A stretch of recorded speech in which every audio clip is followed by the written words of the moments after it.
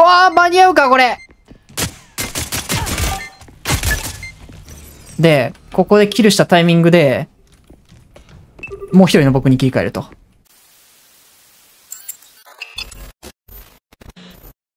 はい、こんにちは、グリードです。いやーね、ちょっととんでもない、マジでとんでもない FPS 来ました。え今回は、スペクターディバイドでいいのかな、え新作無料 FPS のクローズドベータをプレイしていくんですけど、えこのゲームを作った会社は、えマウンテントップスタジオ、えっ、と、元ライオットとか、ブリザードの開発者がいる、えスタジオなんですけどね、あの、ストリーマーで元プロゲーマーで有名なシュラウドが開発に関わっているってことで、え海外ですごい話題になってたんですけど、えこのゲームは3対3の、まあ、いわゆるスキル系の爆破ルール、非常にバロラントに近い、えー FPS になってるんだけど、似てるだけでは終わらないのが、すごいところなんですけど、まあ、早速やっていきましょう。まずね、ちょっと UI だったりとか、あと、設定類もすっごいね、優秀なので、ちょっとそこ見せたいんですけど、このスポンサーっていうのは、いわゆるキャラクターですね。スキルが、えーそれぞれ異なるキャラクターがいますと。ね、回復だったり、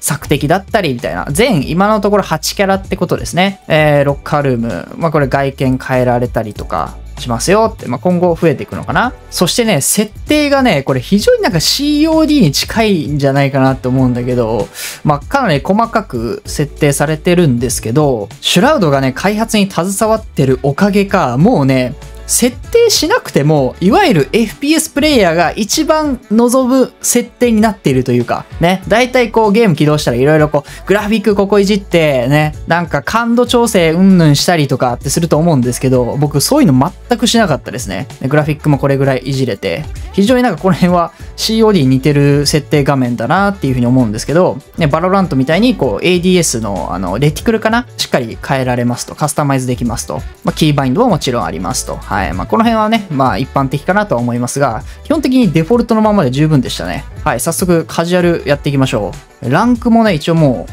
実装、まあまだね、実装されてないんだけど、ランクとカスタムがもう、えー用意されてますね。あと、プラクティ、これは射撃場かな？さあ、マッチングしました。えー、ちょっと攻撃キャラ、アサルトが選ばれてしまったので、どうしようかな。ヒーラー、うん、いろいろありますが、ちょっとヒーラーかな？選べるのなんだろう。えっと、今回選んだのはディスラプター？3対3。攻撃チーム、守備チームに分かれて行います。まあ非常にもう、バロラントです、ここは。基本システム、バロラントです。ただね、そう、3対3なんですけど、はい。なんか、いますね。これはですね、もう一人の自分です。ちょ、どういうことかっていうと、もう一人の自分があって、そう、魂は一つなんだけど、体は二つあるんですよ。こういう風に入れ替えることができると。で、まず、あ、そう、購入しないといけない。これ、バロラントと同じく、武器は購入していく、ラウンドごとに購入していくんですけど、こういう風にね、クイックっていうものがあって、推奨ロードアウトを、おすすめセットっていうのが売られてて、ね、ワンボタンで、もうアーマーとかグレとか、まあ、おすすめなものがもう全部揃うといった感じですね。で、今回これは、防衛、いや、これ攻め側か。攻撃サイドです。で、ね、自分の体今ベースに置いてあるままなんだけど、こういう風にチップを投げて、自分の体をここに転送できるんですよ。はい、転送しました。この状態でボタンを押すと体を入れ替えることができると。はい。これがこのゲームの基本システム。えー3対3なんだけど、実質6対6っていうことですね。リリスポーンはできないんだけど、体がもう1個あるから、まあ実質1回だけリスポーンができるみたいなシステムになってます。さあ、影響点攻めていきましょうか。はい、大丈夫。死んでも、まだ体はありますと。はい。これで死んだらもう完全にリスポーンができない状態になります。ちょっとね、油断しましたね。はい、そこに一枚いる。これなんだろうな。ちょっと投げてみようか。え裏？えー、っと、今、お金は2700。一応、まあ、これ買えるかな真ん中の、このおすすめセット。バランス型購入してみましょうか。はい。購入しました。よし、ショットガンと、もう一人の自分は SMG 持ってますね。ちょっと相手結構強そうだな、これ。でね、マップを見るとさ、なんか赤いレーンがあるじゃないですか。これ。この線。これはですね、まあ僕ら今攻撃サイドなんだけど、防衛側が、例えばね、自分が防衛だったとして、防衛側がここまで入ると、攻撃側のリスポーンまで入るとね、敵に検知される、マップに映るようになるんですよね。マップというか画面かな。まあちょっと防衛側の時にまた説明しようかなと思うんですけど、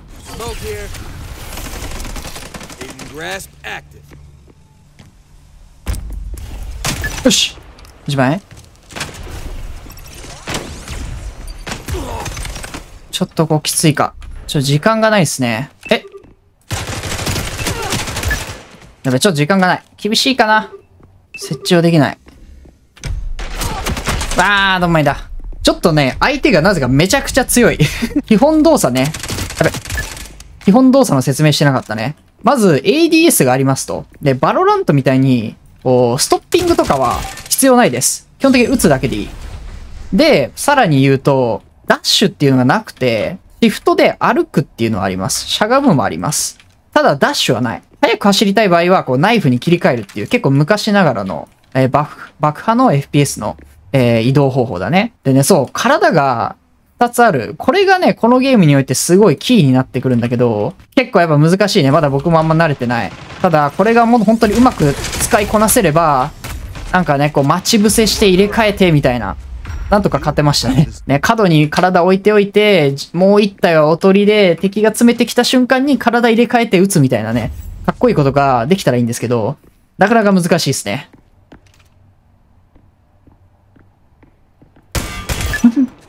よし。これ一気に行こう。これも動いてないやつ。今いたね、いたね。スモーク焚いて.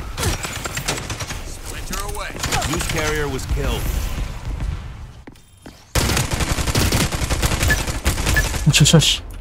4枚 ?5 枚あと1人、あと1人、あれだ。ナイスよし よしいや、マジ、相手強いんだよな、すげえ。ちょっとじゃあ次、防衛の説明しようか。今、フルオートで僕、体狙ってしまったんですけどね、多分ね、これ、ヘッドショットですね。ここはね、やっぱバロラントとかと一緒で、ヘッショゲーではあるので、ちゃんと狙った方がいいな。ちょっとあそこに自分の2体目の体置いておいて、ここに地雷仕掛けておきましょう。いやーちょっと敵強い説明し忘れてましたね。この赤いラインね。このマップ上の赤いライン。あれ以上、あれより先、敵のリス側に行くとね、防衛サイドはね、あの、位置がバレてしまいます、相手に。まあもちろんリスクを負って詰めることもできるんだけど、そう単純にはいかないって感じだね。おっと、危ない。よし。いやーちょ、ボコ ボコボコでしたね、ちょっとね。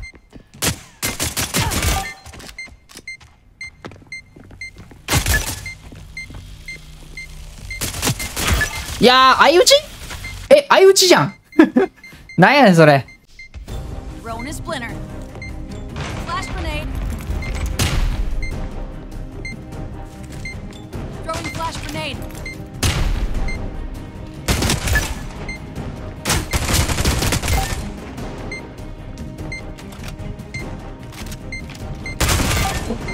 うわー間に合うかこれいやー厳しいかな。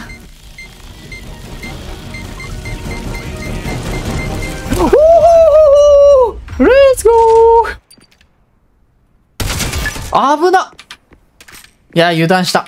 でもよ、よく勝ったな、今の。アサルトキャラがめっちゃ強いですね、これ。回復もできるし、うん。攻撃もできるし、ラウンド開始前はマップをして、えっ、と、自分の体をね、あ、もう一体を好きな場所に選べるっすね。わざわざその場所に行かなくても。よし、じゃあ、もう一人の僕は左側に置いておいて、ちょっと右レーン担当しましょうか。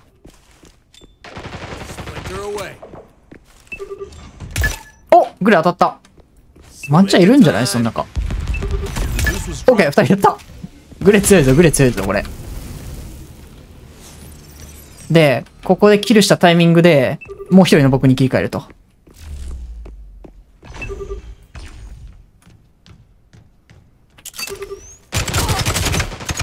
死にそう。もし、体力1やから、体力1やからこれちょっと先に出すか。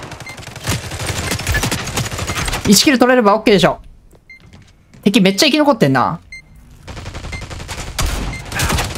さあ、ダメだ、ショットガンじゃ。ちょっとこっちボコボコだって。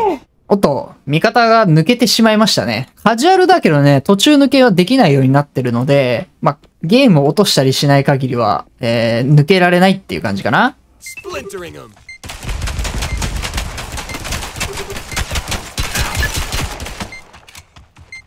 今、正面いたね。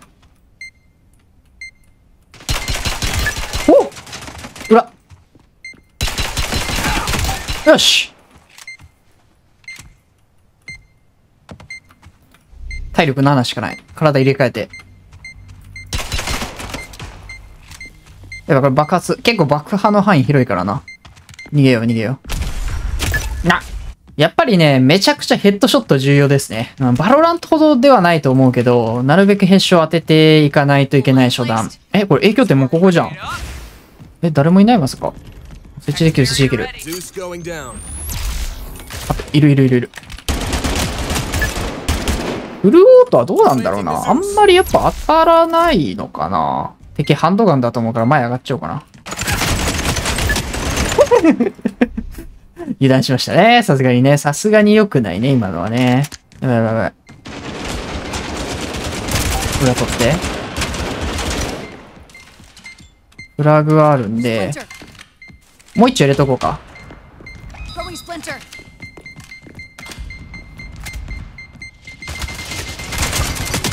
One. よし。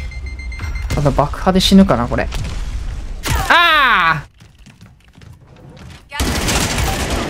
1枚。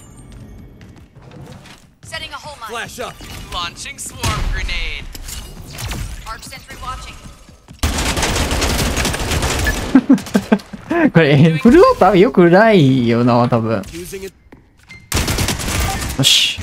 ナイスまだいるはず。いない ?OK 危ない。当たるはず。当たってる当たってる。がっつり引いてるね。えー、カルマチしてたまだ嘘ーいや、やっぱヘッショの、武器によってかなりヘッショ狙うの難しいな、これ。まあ3対3だけど、やっぱりね、そんなにこ.う、地味ではないというか、戦闘が。ね実質6対6だから、そこ激しくやれるね。よし、危ない危ない危ない危ない。あの壁はこちらからは撃てないと。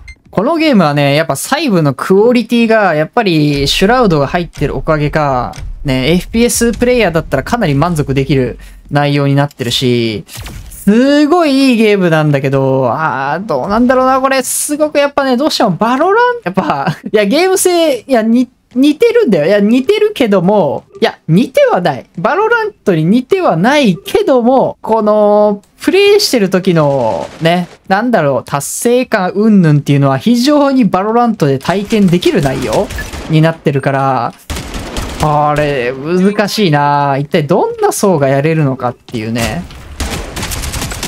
お、お、お、お。バロラントをやってる人はね、ちょっとあんまこのゲームやらなかったりするかもしれない。ただこう、バロラントよりちょっとカジュアルな、ね、ゲームを求めてる。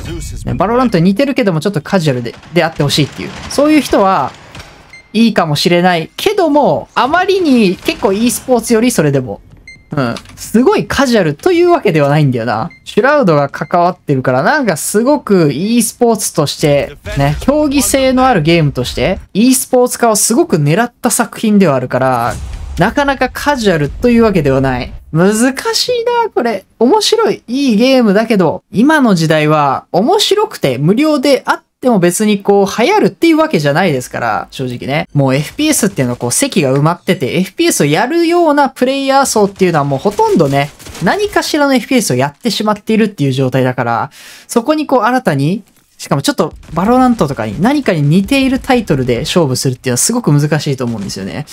いや、すっげえいいゲーム。うん、間違いなくこれ、これ言ってしまえばだからバロラントとかがなければ、ものすごい流行ってる可能性がある FPS だなっていう、それぐらいのクオリティだとは思うんですけどね。いや、難しい、面白いけど。いや、でも今後に期待かな。今後のアップデートで、すでに.相当な完成度だから、ここからさらにアップグレードされたらどうなるかわからない。かもしれない。ちょっとわからない。